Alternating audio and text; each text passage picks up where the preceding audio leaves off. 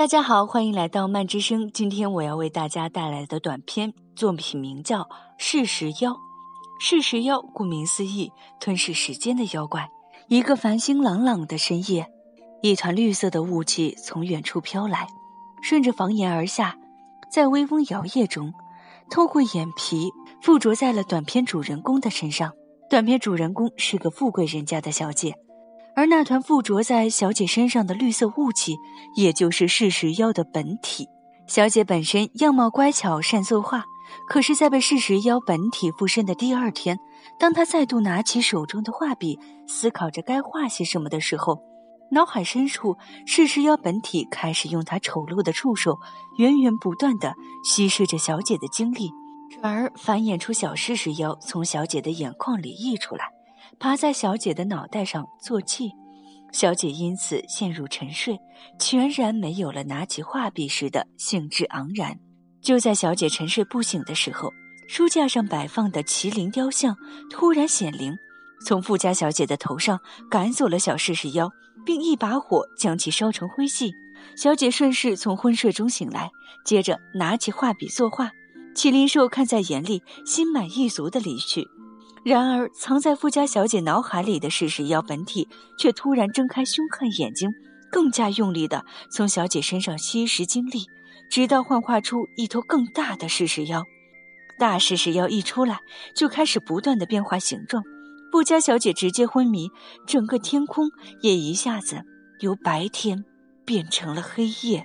到最后，大噬食妖变化的只剩下一张血盆大口。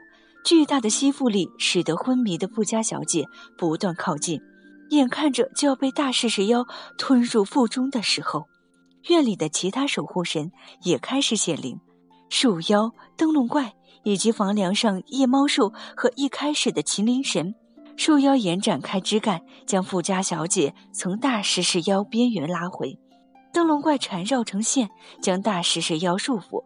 夜猫兽一举将大食食妖打回原形，麒麟神再次用火焰将大噬食妖燃烧殆尽。富家小姐从昏睡中醒来，看着逐渐散去的灯笼怪和夜猫兽，于一声鸡鸣中，再次拿起画笔坐在了画布前。噬食妖本体不死心，欲三度作妖，让小姐接着睡过去时，麒麟兽及时的一个哈欠点醒了小姐。小姐毫不犹豫，开始下笔作画。每画一下，噬食妖本体上就会出现一道火痕。麒麟兽抖抖翅膀，回归原位，而小姐也继续认认真真的画下去。